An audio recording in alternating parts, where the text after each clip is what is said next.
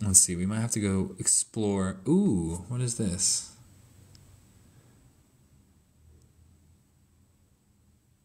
Interesting. Species.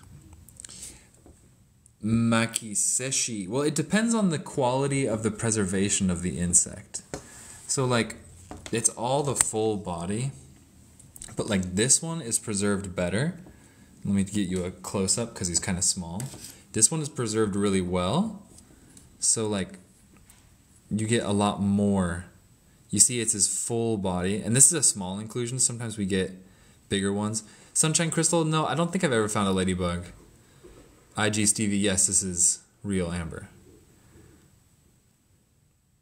So this guy's preserved really well. Look at that. You see how you can see like the stripes under him and stuff like that. His organs could preserve it presumably be intact, but you can't you can't really like dissect the organs out of him.